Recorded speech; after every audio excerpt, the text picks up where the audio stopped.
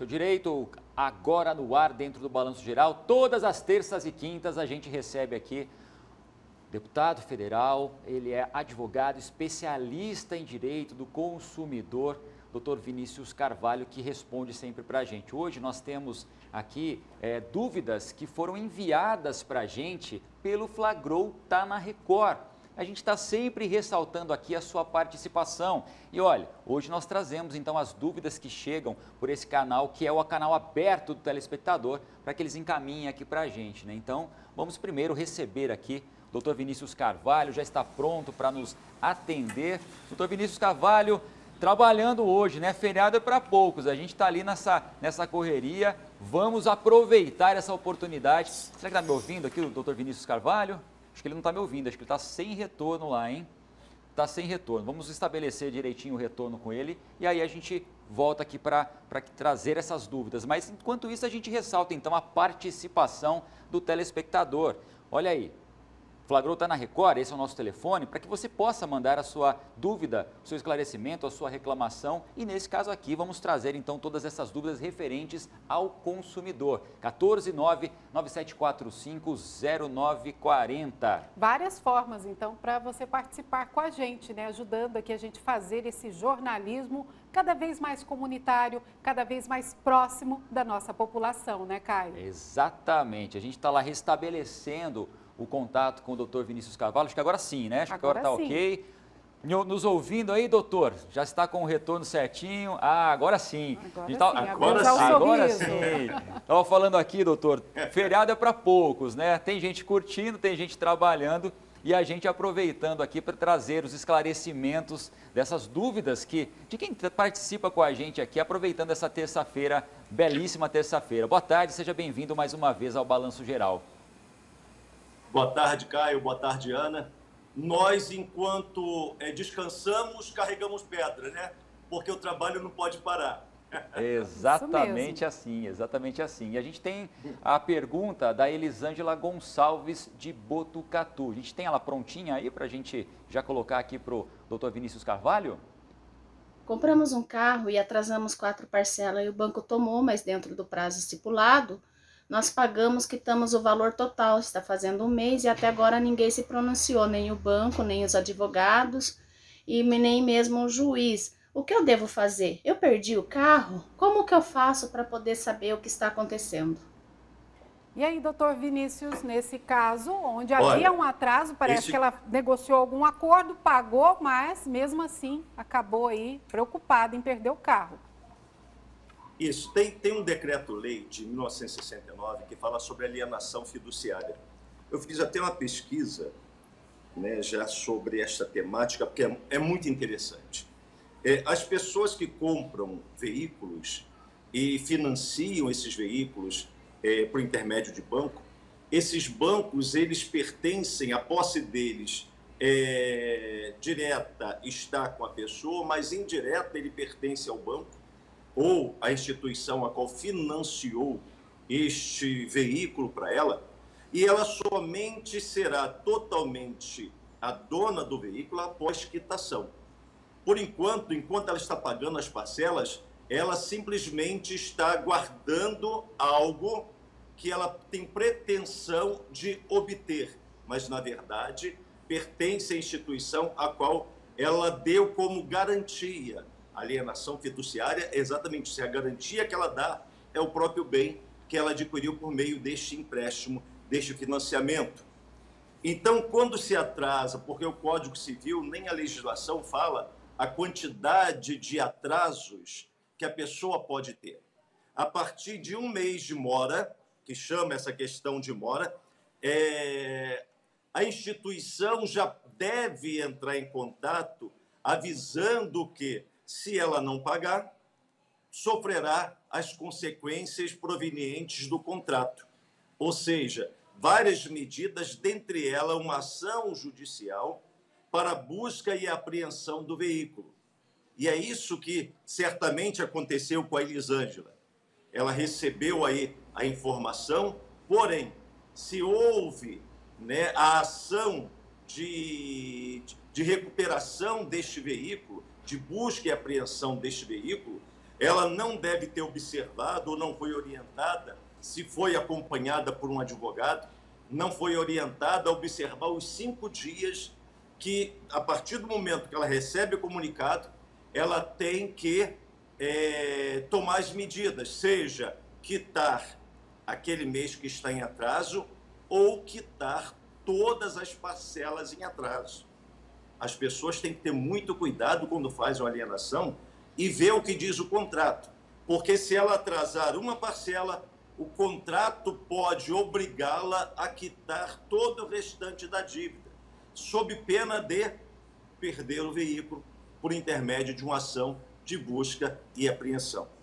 A partir do momento que a Elisângela ela pagou, ela quitou, então o, o advogado que a acompanha, se ela não tem um advogado, a orientação que nós passamos nesse instante, que ela busque um advogado que seja especializado nessa questão, um advogado consumerista, que também tenha um conhecimento nessa questão, um advogado civil que tenha um conhecimento dessa questão, para que ele possa é, acompanhá-la, porque vai ter que requerer junto ao juiz que esta ação de busca e apreensão, pelo fato da, da purgação da mora, ou seja, da quitação da dívida, sendo ela apenas das parcelas vencidas, ou se existe a obrigação de quitar toda a parcela.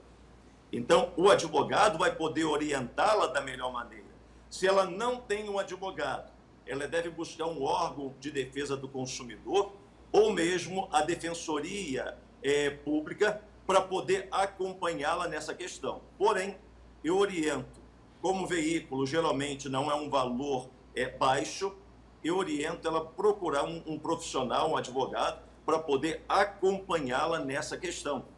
Porque quando ela paga, quando ela quita, então a justiça, o juiz, ele reintegra exatamente esse bem, volta esse bem para ela, ele cancela essa busca e apreensão e o bem pode, pode continuar sendo usufruído e guardado por ela até a sua quitação. Isso está no Código de Defesa do Consumidor. A questão é no artigo 42, caso ela tenha uma, uma prestação muito alta, muito cara, ela pode requerer também uma ação para poder adequar as prestações ao preço justo, se ela entender que está havendo um exagero na cobrança dessas parcelas. E também com base no próprio Código Civil, no artigo 406. Então, acredito que essa orientação, Caio e Ana, para Elisângela, ela seja interessante porque depende muito de o que está neste processo de busca e apreensão. Se é a quitação apenas das quatro parcelas vencidas ou se ela tem, infelizmente, que quitar todo o restante da alienação fiduciária para que ela possa ter o direito a continuar usufruindo do bem que ela comprou. Elisângela, dá uma olhadinha então aí no seu contrato, lê ele novamente, pega ali as linhas miúdas e busque um profissional para que possa fazer esse acompanhamento também. Tem mais pergunta, Ana Paula? Tem, tem sim. A Fabiana Aparecida vai fazer a pergunta agora. O celular já deu defeito no primeiro, na primeira semana de uso. Eu levei até a loja, lá eles me informaram que eles iam estar tá levando para assistência técnica. Aí eu tenho o prazo de um ano para estar tá levando ele lá. Só que eu fiquei em dúvida, como no caso seria um problema de um defeito de fabricação, creio eu que seja isso. A minha dúvida é se eu tenho direito a um celular novo ou se a loja está certa de estar tá consertando esse mesmo celular. Essa é a minha dúvida. Essa, aí, né? essa dúvida da Fabiana. Eu é, acho que é a de muitas essa, pessoas. É de muitas pessoas, acontece muito. Depois, até quando eu caí numa dessa também, fui levar dentro de uma empresa aí no computador que, que comprei, nunca tinha tido problema, usava essa marca há 15 anos e fiquei com o computador e aí passou a garantia. Mas no caso da Fabiana, dá tempo da gente orientá-la de uma forma correta, doutor Vinícius. O que, que ela deve fazer? Exatamente. É, o Código de Defesa do Consumidor, ele deixa bem claro no artigo 8 que é, o vício do produto ou da qualidade do serviço a qual a pessoa contrata, no caso ele é um produto especificamente, quando ele é apresentado, o consumidor é, que tem esse produto, ele tem aí dentro do seu prazo de garantia esse um ano para poder levar até uma assistência técnica. Não existe, infelizmente, e eu digo infelizmente porque nós temos um decreto na Casa Civil, um decreto que foi é, pronunciado por um, um presidente da República em 2013, no dia 15 de março de 2013, que são produtos essenciais ao consumidor que deveriam ter trocas imediatas, produto de linha branca.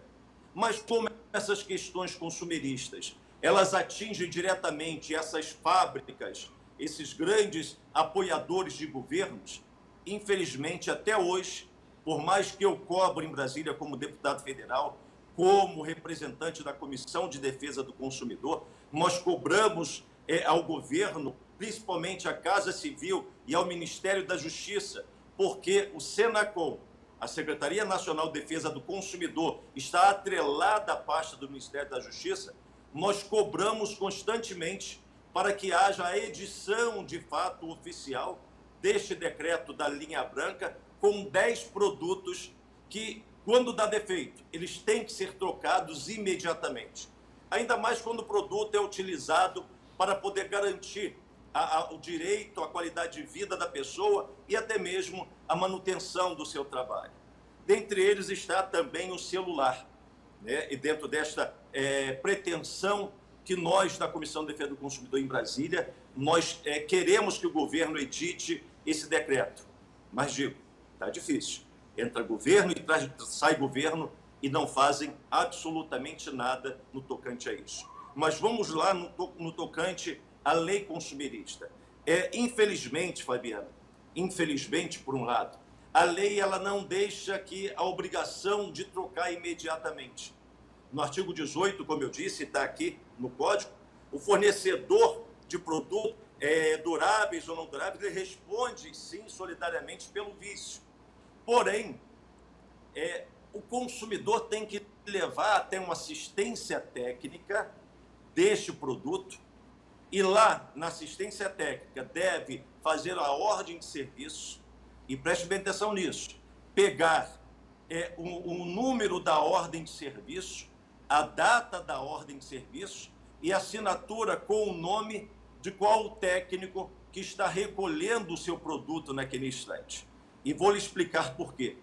Porque também no artigo 18, no parágrafo 1, diz que este vício tem que ser consertado em até 30 dias. Não são 31 dias. Não são, quer dizer, pode ser 29 dias, mas não são dois meses. Você só pode ter a comprovação deste período de tempo, de até 30 dias, se você tiver o comprovante por meio desta ordem de serviço, esta OS, o nome do produto, é, é, número de série do produto, é importante colocar o nome do produto, o número de série do produto, o defeito apresentado que você percebeu, você não é técnica, o consumidor não é técnico, mas na sua linguagem, qual o problema que está apresentando, ali ter a data da sua entrega e também ter o nome deste atendente. Por quê? Passando 30 dias, aí sim o consumidor, caso não seja comunicado e solicitado ao consumidor que permita que este produto fique mais tempo, ou seja, até é, 180 dias, como diz aqui também claramente, né, o Código de Defesa do Consumidor, dentro do parágrafo 2 que ele pode ser é, modificado este prazo com a concordância do consumidor. Se o consumidor não concordar, prevalece o parágrafo primeiro, que são 30 dias. Se o consumidor entender e concordar, pode ser até 180 dias, mas tem que ser estipulado também na ordem de serviço, que foi ampliado por mais 30 dias, mais 60 ou 180 dias. Então, se após este prazo não houver o conserto, o consumidor pode, a sua escolha, como está no parágrafo 1 dentro do inciso 1, 2 e 3, escolher ali ter o produto substituído pelo mesmo produto, né, um outro produto da mesma espécie, ter substituído o produto por uma outra coisa ou ter o seu dinheiro é, devolvido, corrigido monetariamente. Isso somente após 30 dias. Se neste caso não se cumprir o código nesses prazos, então o consumidor deve buscar diretamente os órgãos de defesa do consumidor, que eu oriento sempre antes de entrar na justiça. Porque a justiça, mesmo a justiça especial civil, ela, com ações como essa, demora de três meses a seis meses, pelo menos. Mas se você buscar o órgão de defesa do consumidor, um PROCON, ou dependendo da companhia que você comprou o aparelho ou da empresa, você pode entrar no site consumidor.gov.br, que geralmente eles respondem e resolvem os problemas em até 10 dias. Então, Caio e Ana, fica aí a, a nossa resposta e orientação para a amiga Fabiana, que infelizmente deve aguardar até 30 dias após a entrada do produto com essas com resguardando a ordem de serviço com as orientações que nós demos para que ela tenha garantia de cobrar os prazos descritos na lei consumerista. Anotou tudo aí, Fabiana, só seguir então as orientações nesse momento. Doutor Vinícius, vamos dar as redes sociais também para quem tem dúvidas, que possam entrar em contato com o senhor também. As redes sociais já estão aqui colocadas para a gente, mas fique à vontade para ressaltá-las. E, e, é verdade, o Caio, inclusive, nós temos uma novidade né, para todos os nossos amigos que acompanham o nosso trabalho. Nós criamos um aplicativo que tanto serve para Android quanto serve para o iOS. E o nome do aplicativo é muito simples. É, ele diz assim, ó, o aplicativo, sou Vinícius Carvalho. Exatamente isso. Sou Vinícius Carvalho, que dentro desse aplicativo a pessoa vai acompanhar todo o meu trabalho. É gratuito tanto pelo é, Apple Store quanto pela, pela Google Play, é, Google Play, para poder ela acompanhar. E ali tem as nossas redes sociais, essas que as pessoas estão vendo, que é o Facebook e o Instagram, Vinícius Carvalho Oficial. Então esse aplicativo, ele é Sou Vinícius Carvalho, tudo junto. Muito fácil de manusear e você vai ter no seu smartphone acompanhando o nosso trabalho 24 horas por dia. Tá ok? Obrigado, Caio. Obrigado, Ana. Um excelente, uma excelente semana e quinta-feira nós voltamos para mais uma orientação ao nosso público. Perfeito, doutor Obrigada, Vinícius. Muito obrigado. Doutor. Boa tarde para o senhor. Então, esses esclarecimentos de hoje, nessa terça-feira, quinta-feira tem mais seu direito aqui no Balanço Geral. Então, ficaram aí os canais para que você possa encaminhar diretamente as suas dúvidas e também aproveitando o nosso Balanço Geral aqui, 14 997450940. Esse é o nosso canal de participação do telespectador no Balanço Geral.